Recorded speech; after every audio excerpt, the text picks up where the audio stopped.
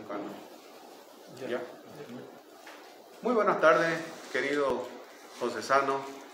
Nos encontramos aquí reunidos para hacer una aclaración pública con respecto a la presencia de fiscales y policía en nuestra alcaldía municipal. Comunicarle que de la unidad de auditoría del municipio se ha recibido un informe circunstanciado con respecto a los proyectos del Fondo Indígena. Es por ello que dentro, en su parte final, recomienda que se hagan todas las acciones necesarias para esclarecer el destino de estos fondos, porque según el informe hay indicios de malversación. Es por ello que este informe que tengo en mis manos ha sido entregado a la Fiscalía y a la Contraloría del Estado para que a través de ellos se investigue y se lleven adelante las acciones necesarias, buscando esclarecer el destino que se le dieron a estos recursos y si cumplieron el fin para lo que fueron dispuestos. Es por ello que el día de hoy nos visitó una fiscal con cinco investigadores policía para estar en nuestro pueblo y ver con sus propios ojos, visitando eh, las comunidades que se citan en el proyecto, para ver si se realizó efectivamente el trabajo descrito en los informes del Fondo Indígena. Específicamente esto es del Fondo Indígena. ¿no? También secuestraron una documentación y, la, y el equipo de computación de la responsable del Fondo Indígena para llevarlo a Santa Cruz y a partir de ello hacer todo el análisis correspondiente. Es por ello, querido vecino, que queremos ponerlo en, para que usted sepa ¿no? por qué ellos están acá. ¿no? Obviamente que como autoridad de nuestro pueblo no corresponde, porque es nuestra obligación ¿no? tener que esclarecer cómo fue llevado este proyecto, porque así en las condiciones que me fueron entregados, ¿no? obviamente el Fondo Indígena no conoce el trabajo real que se ha hecho aquí en el, municipio. ¿no? Y hay unos recursos que nos llamaban para que nosotros todavía los, tomemos, los tomamos, los tomemos para seguir con el proyecto. Pero hasta donde se vio y se analizó, el proyecto era inviable, porque se tomó recursos, eran dos proyectos, de los cuales sin concluir el primero se tomó recursos del segundo. Y el saldo del dinero que, que nos daban o nos ofrecía el Fondo Indígena no daba para concluir con el cometido eh, relacionado. En realidad son tres proyectos, ¿ya? Entonces, si esto ocurre, no correspondía hacer todo el análisis correspondiente. Porque hemos visto maquinaria, hemos visto insumos que se han comprado todos los días nos llaman los proveedores cobrándonos, ¿no? Porque estos todavía ni siquiera fueron pagados y los recursos ya fueron consumidos. Pero bueno, no soy yo el que tendrá que demostrar si realmente fue buen llevado o no.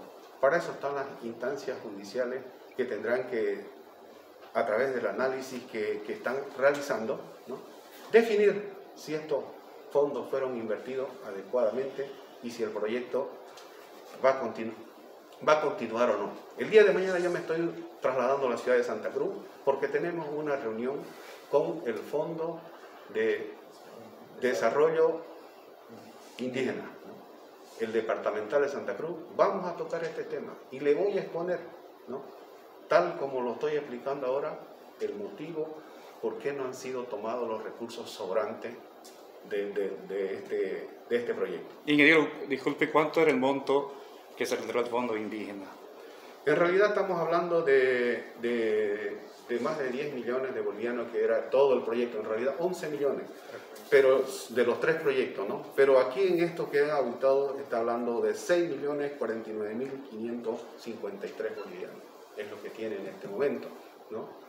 Por eso es que necesitamos que la, la población sepa que se están haciendo las investigaciones, y la visita de estos personeros policiales y fiscales corresponde a ellos. En este preciso instante se han trasladado a la comunidad 24 de junio, donde hay un oruga ¿no? que ha sido comprado con este fondo y que ha sido abandonado por más de dos años. En este momento están haciendo las inspecciones en ese lugar. Al igual que también están haciendo las inspecciones en las instalaciones de la central indígena Turbó, donde se encuentran muchas maquinarias que están ahí abandonadas y que nunca fueron usadas y que fueron adquiridas por este mismo proyecto. Este informe preliminar de auditoría, ingeniero, eh, ¿se da el resultado completo o recién está empezando con la fiscal de materia anticorrupción? No, en este informe circunstanciado, ¿no? Eh, aquí la recomendación que tenemos del auditor es que se deben seguir los lineamientos de acuerdo a ley para que se esclarezca cómo fueron utilizados estos recursos. Según esto, indican que hay indicios de malversación de fondos. ¿Esta comisión anticorrupción, ingeniero, hasta cuándo va, va a seguir investigando? Este documento que tengo en mis manos y que fue, que fue entregado por auditoría interna se encuentra en la Fiscalía y se encuentra también en, la, en la Contraloría Departamental de la República.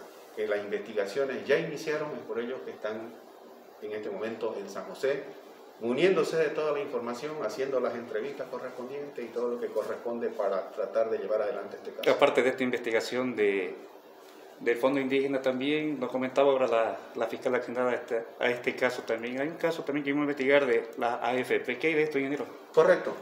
Hay también otro juicio que se está llevando a, este, está llevando a cabo, ¿no?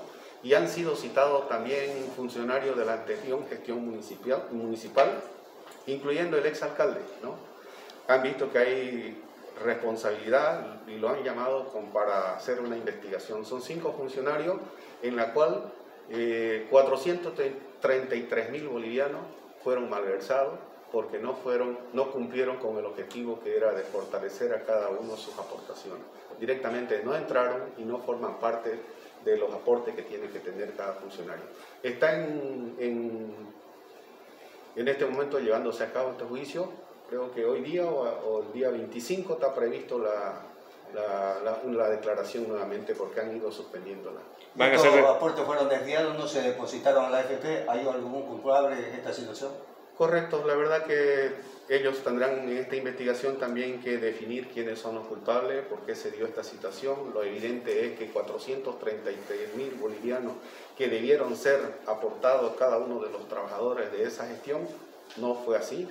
Pero eso no queda ahí, porque también existen daños lesivos a las arcas del municipio, porque tenemos que por ese asunto nosotros pagar también multas ¿no? por incumplimiento de estos, de estos deberes. ¿Se conoce, ingeniero, cuántas personas van a ser investigadas?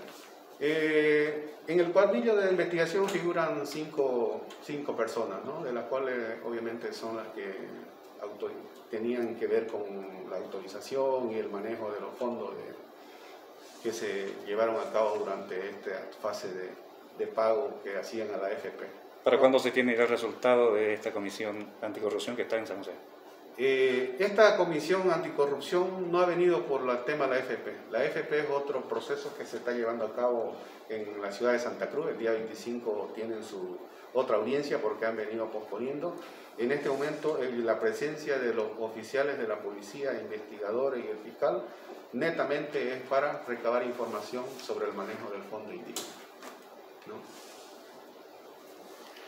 Conversamos también la segunda pregunta la concejal.